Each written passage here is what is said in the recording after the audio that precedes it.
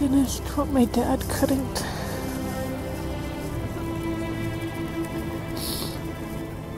I I just have to release the feeling. Just did it.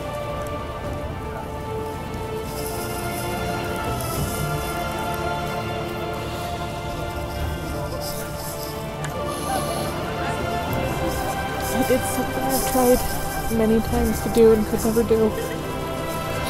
And it was hard. I did something that Dad could never do, couldn't finish.